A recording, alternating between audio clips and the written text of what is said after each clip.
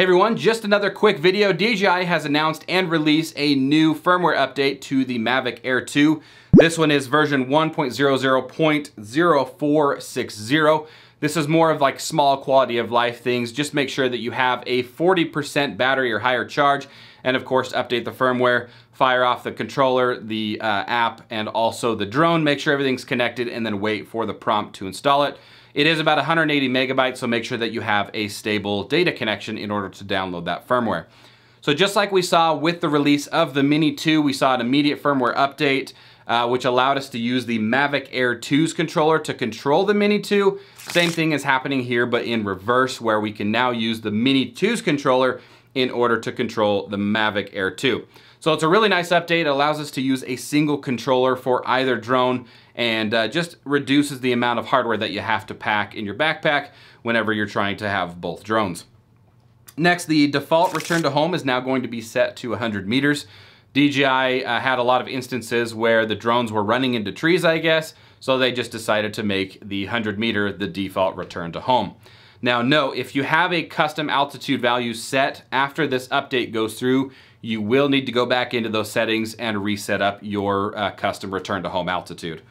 Uh, the downward vision sensor altitudes have been increased to 30 meters. This should help keep the aircraft stable if GPS is unavailable. Your vision sensors should be at 30 meters and help hopefully give you a little bit more stability when you're at that or below. Uh, changes to the startup have been made.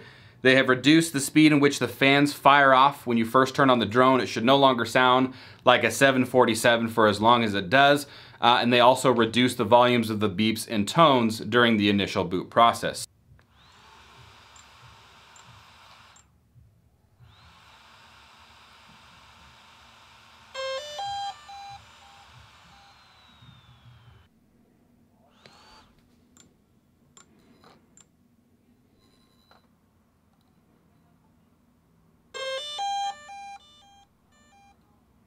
Changes to the detection and app alerts when, propel, uh, when propellers are unfolded. I was unaware that the drone had uh, any way to detect if propellers were installed or not. I know that there was a prompt when you'd first go to launch that would say, hey, double check your propellers, make sure that they're on the right arm, but I didn't realize there was a, a detection system built into it. So they've made some changes to that. We should see an improved prompting for that. I'm not exactly sure. If you have a little bit more information, I would love to know. Leave that down in the comments.